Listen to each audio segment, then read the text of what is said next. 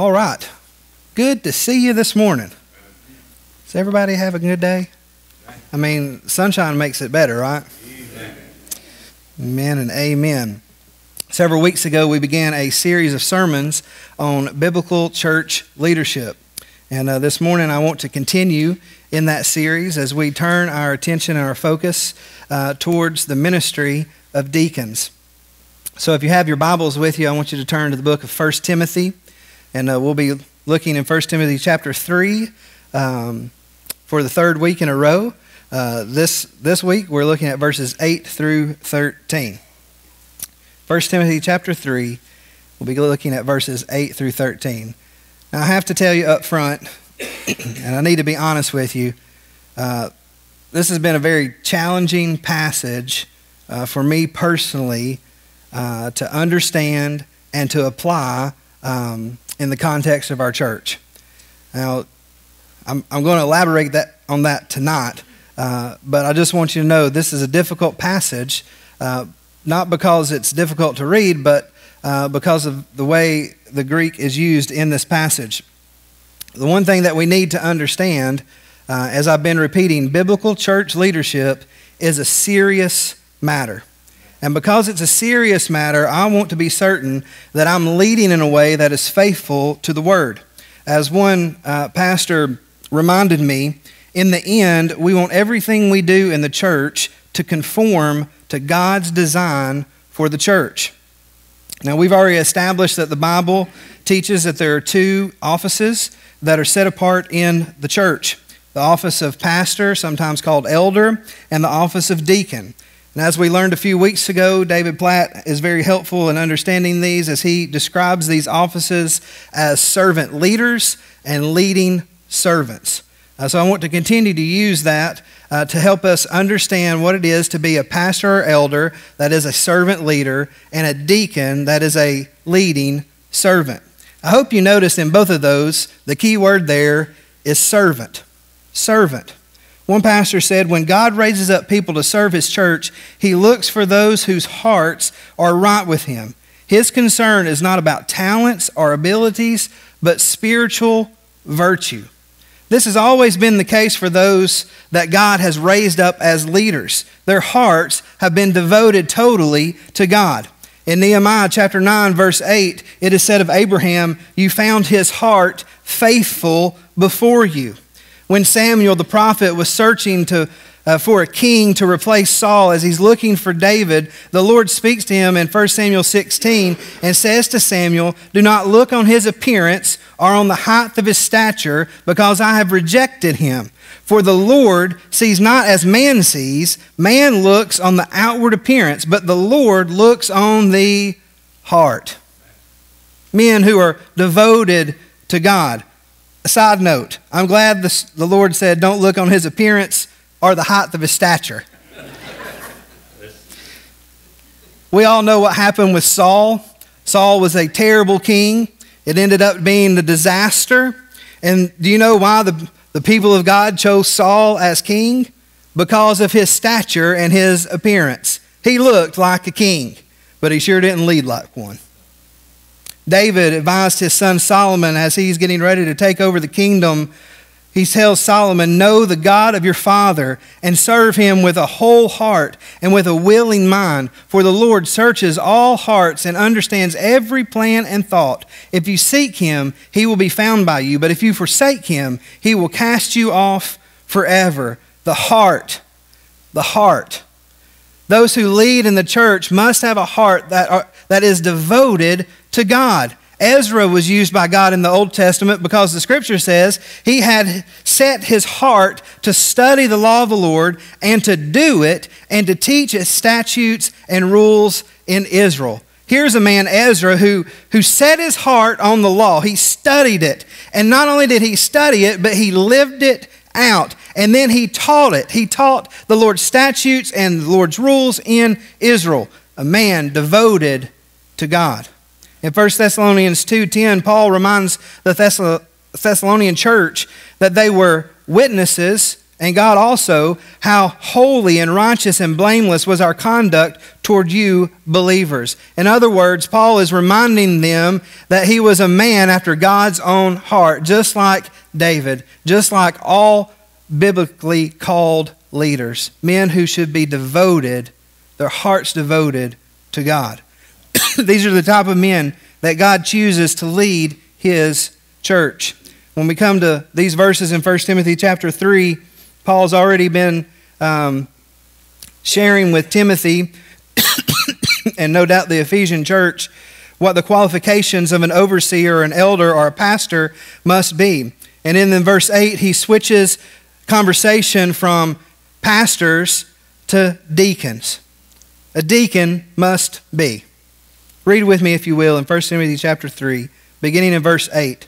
And there the scripture says, Deacons likewise must be dignified not double tongued, not addicted to much wine, not greedy for dishonest gain. They must hold the mystery of the faith with a clear conscience. And let them also be tested first. Then let them serve as deacons if they prove themselves blameless. Their wives likewise must be dignified, not slanderers, but sober minded, faithful in all things. Let deacons each be the husband of one wife, managing their children and their households well.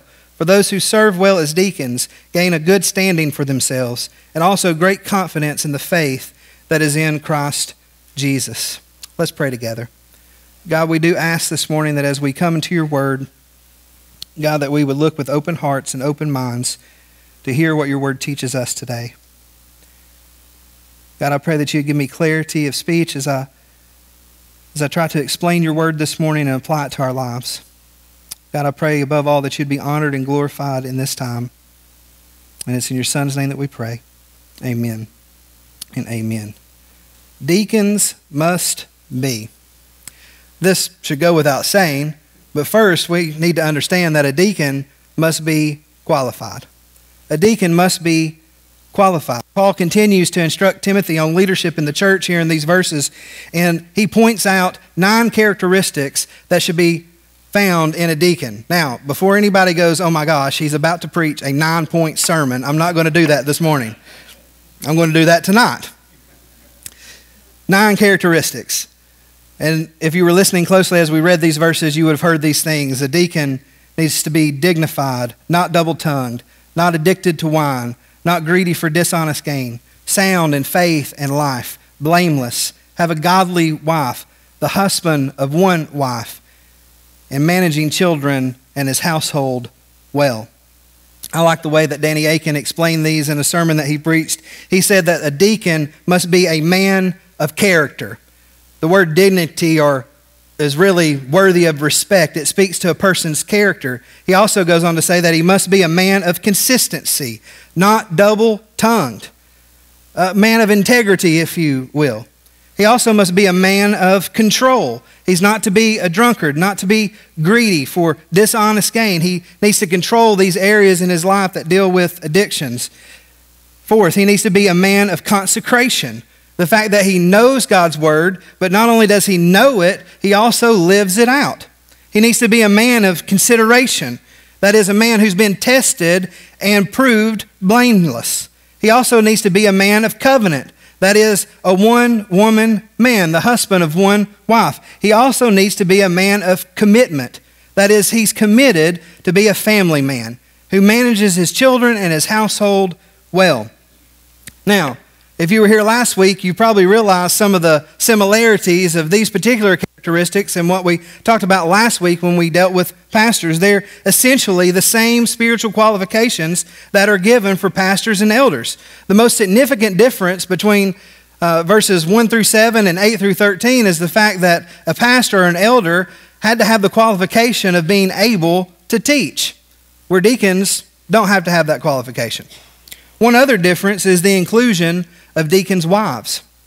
This particular verse has been the subject of a lot of debate, and I was quite surprised. I even had to, to uh, tell Cindy last night I was so surprised by some of some of the pastors that I've listened to in the past, and I read their books and those kind of things. And when I when I come to the part where they're understanding this verse, it kind of took me aback uh, because that's not exactly the way I interpret the passage. So there's a lot of debate, and if I could sum up the debate, there's a lot of people who believe uh, that this speaks to deacons' wives. There's a lot of people who believe uh, that this speaks to a, another class of leadership in the church because the word that's used there for wife uh, in the Greek is the same word that's used for woman. So, in your footnote of your Bible, you can look down there and there's a little footnote that might say this reads wives likewise or women likewise. So, there's a debate on how Paul uses this word. Is he talking about deacons' wives or is he talking about um, deaconesses?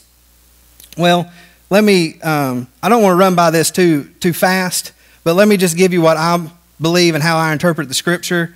I, I believe that the usage here is wives and that Paul is specifically referring to a deacon's wife. Now, I know some of you might have questions about that, so that's why I encourage you to be back tonight because I'm going to dig into this a little bit deeper because I don't have time this morning to unpack the whole thing.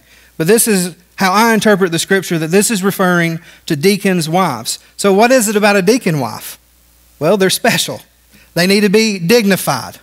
They need to not be slanderers. I found that word interesting because that, that literally describes Satan. Okay, so a deacon's wife does not need to be, well, she doesn't need to be like Satan.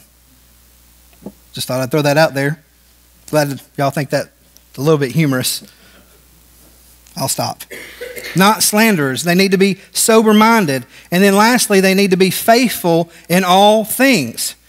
Now, what's interesting is these are, are basically the same qualifications that we find for elders and for deacons, which seem to suggest that, that these particular spiritual characteristics, these are things that all believers should exhibit in their life. Every single one of us who, who claim the name of Jesus as our Savior, who, who walk after Him and follow after Him, these are the things that should be in our lives. I mean, we should be people who are worthy of respect. We should be people who are not slanderers, who are not little Satans. We should be people who are sober minded, and we should be people who are faithful in all things. What's interesting as you read this passage, you might think, well, what, what does some of the other biblical texts say about the qualifications of deacons? Well, you just read the only passage that speaks to the qualifications of deacons. 1 Timothy 3 8 through 13. It's the only place in the Bible where these qualifications for deacons are listed. In fact, this particular passage and one verse in Philippians, Philippians 1 1, are the only uses of the word deacon where it's elevated to an office in the church. in Philippians 1 1, as Paul is greeting the church at Philippi, he mentions uh, the work of the overseer and deacons. It's the only other place in the New Testament where the office of deacon is officially recognized. What's the point?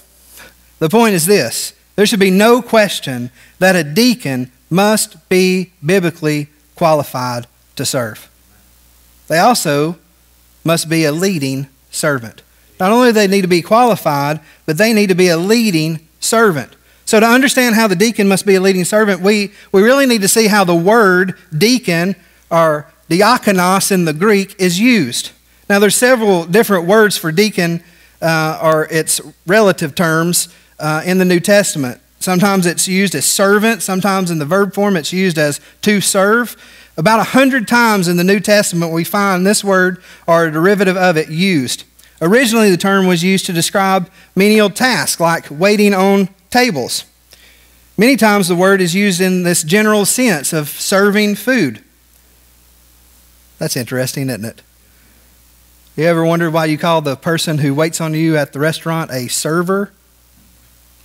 They're fulfilling the role of a deacon. Let that sink in. In John 2 5, where we find Jesus' first recorded miracle in the scripture at the wedding at Cana, we find his mother using this word, deacon.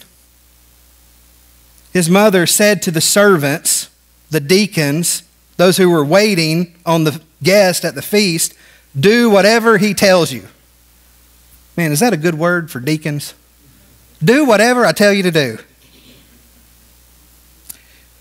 Over the course of time, this, this word deacon seemed to have broadened to denote service in the church like in 1 Corinthians 12 5, where it says that there are varieties of service, or some translations say a variety of ministry, but the same Lord. So we, we see this word deacon referring to Christian service.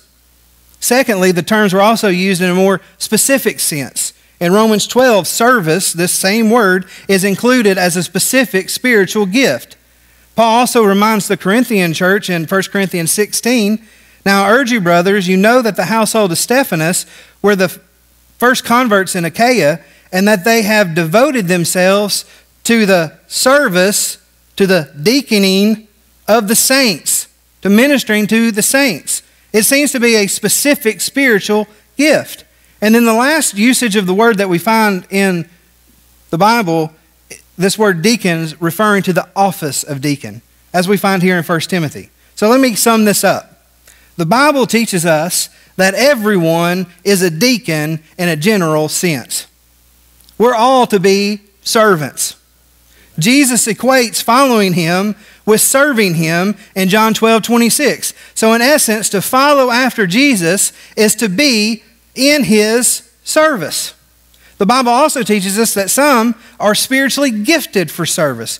They, they have um, the ability to lead others in the area of service. They serve as an example for us to follow.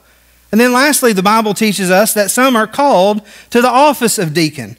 That is, they are to work alongside and assist the pastor or the elders, freeing them to focus on the ministry of the word and the ministry of prayer. They lead in carrying out the vision and the mission of the church. They are leading servants. So a deacon needs to be qualified. A deacon also needs to be a leading servant. And lastly, a deacon must be faithful. A deacon must be faithful. You'll notice in verse 13 of 1 Timothy 3, it says there that those who serve well, those who serve well. Serving well as a deacon comes with the reward of a high standing. Some people say that's putting them up on a pedestal, but that's not of their own doing because servants are humble by nature. But yet they're well received and looked on favorably. They have a high standing. They also have great confidence in the faith. You could say that faithful deacons through their faithful service, continue to be empowered to be faithful deacons. It builds on itself. So, this leads to the question what are the responsibilities of a faithful deacon? Interestingly enough, the Bible does not give us a list of responsibilities for deacons. Nowhere in the New Testament does it say a deacon must do this and must do this and must do this. It does say, say what he must be, right? It speaks to his character, but it doesn't speak to the actions of a deacon. Obviously, service is their main focus, but, but how does that translate into specific actions? Well, I want you to turn with me, if you will, back to the book of Acts. In Acts chapter 6, in Acts chapter 6, we find what I believe to be the founding of deacon ministry in the church. At the least, it serves as a prototype for faithful service, for being a faithful deacon. Here's what's happening in Acts chapter 6 the church is growing by leaps and bounds. Right? We know on the day of Pentecost, 3,000 plus people were added to the church. And this continues all throughout the book of Acts. Thousands and thousands of people coming to faith in Christ. So the church is expanding. So, as they're increasing in number, a problem arises within the body of Christ. You see, there were some Hellenists. These were Greek speaking Jews, and they had a complaint against the Hebrews because their widows were being neglected in the daily distribution. I don't think I should have to say this, but ministering to, to widows is kind of a core thing for a believer, right? It's a command of God.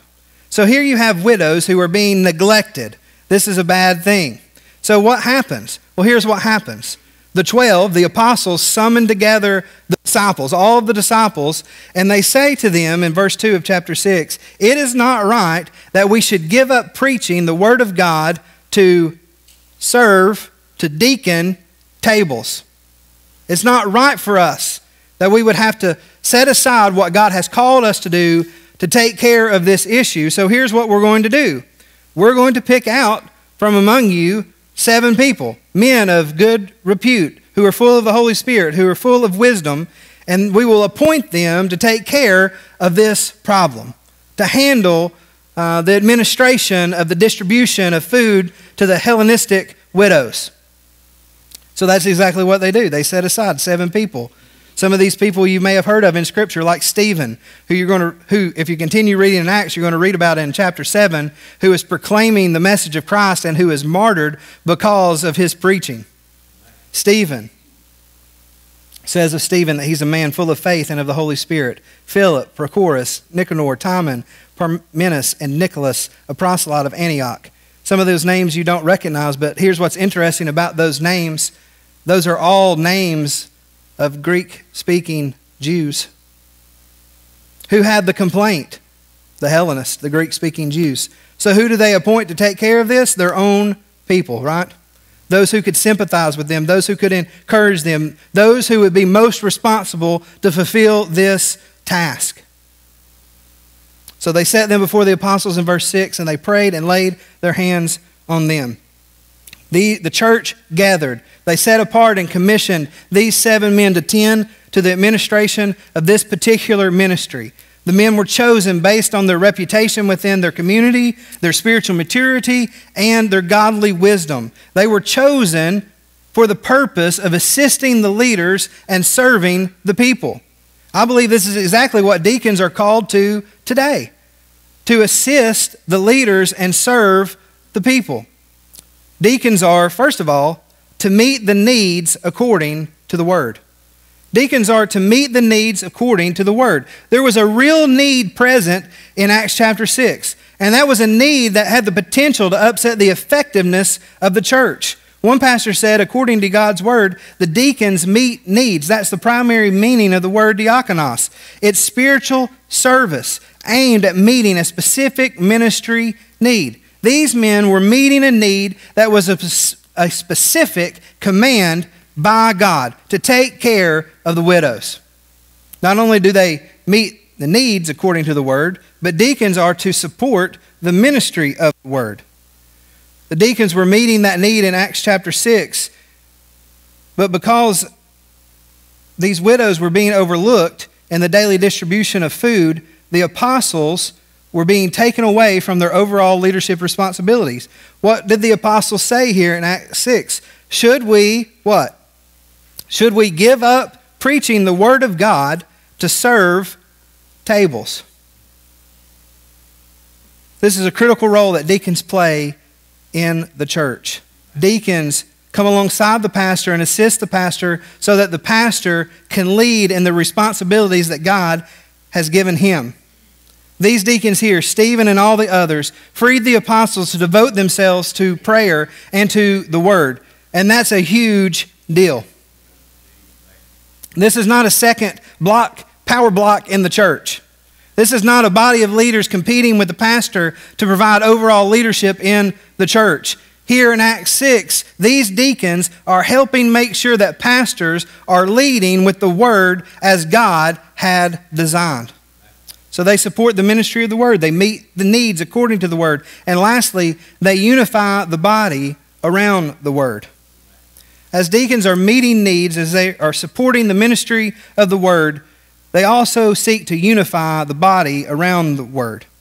I mean, if you really think about what's happening here in Acts chapter 6 as the church is expanding and growing and seeing real effectiveness happen around them, the unity of the church was at stake. And can I say one thing that I know very sure, that I'm very sure of? Whenever there is disunity in the church, I can promise you, you will not be effective in the gospel ministry. This was a big deal. The physical neglect was causing spiritual disunity. Christians were beginning to complain against each other. There was tension among the body of believers, and these deacons were appointed to be, as one person said, shock absorbers for the church. They were to squelch this rising disunity in the church. And how did they do that? They met the needs, they supported the ministry, they sought to unify the body. To do that, they had to be faithful. They had to be faithful.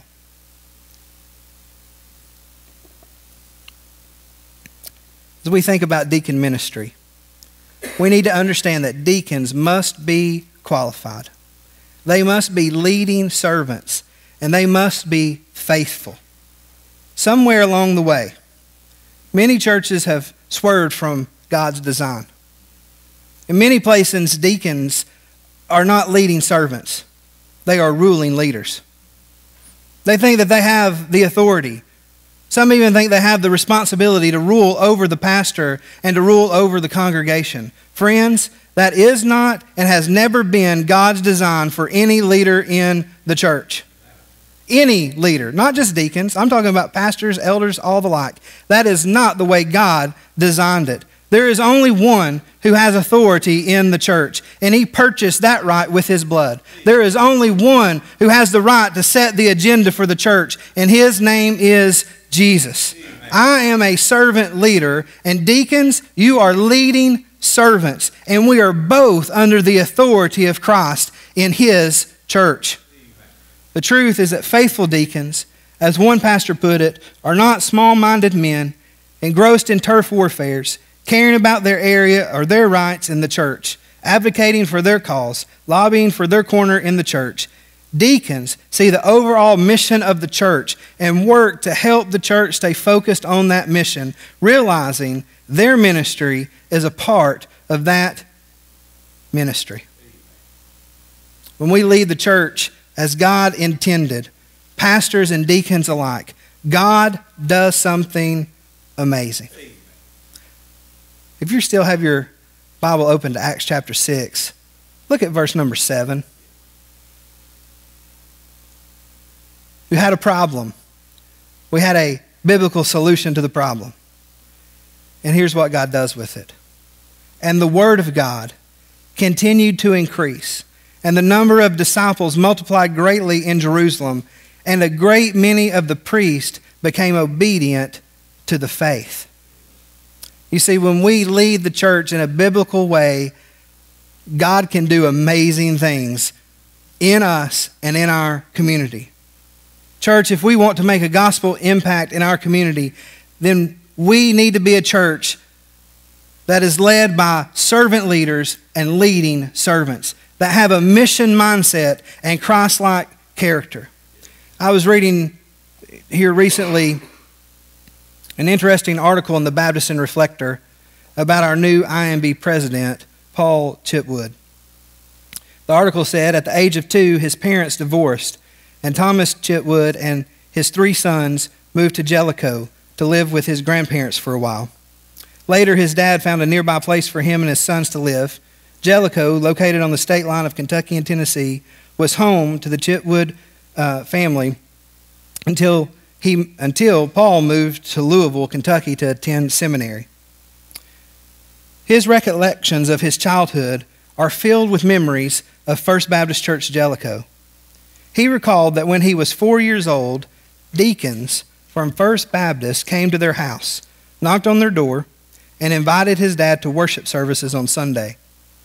He began taking us to church, and it became a way of life, Chitwood said. A few years later, the church's pastor, came to visit them and shared the gospel with Paul's older brother Lynn.